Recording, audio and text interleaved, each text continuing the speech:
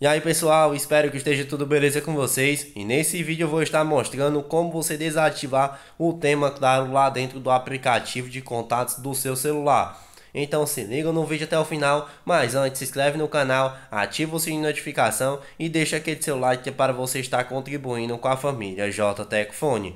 Bom, vou estar vindo até o aplicativo de contatos aqui do meu dispositivo, logo em seguida vou até a opção de corrigir e gerenciar, aperto em configurações e aqui dentro vem até a opção que vai ter tema, que no meu caso vai estar ativado claro e eu vou estar selecionando a opção de escuro ou então padrão do sistema para desativar o modo claro. Vou colocar padrão do sistema e em seguida já vai ter desativado o modo claro aqui dentro das configurações do aplicativo de contatos do meu celular. Então é uma função bem básica de você estar realizando sem dificuldade alguma. E no mais, eu espero ter ajudado vocês com mais esse truque aqui dentro do canal. E até a próxima família, J Tech Phone.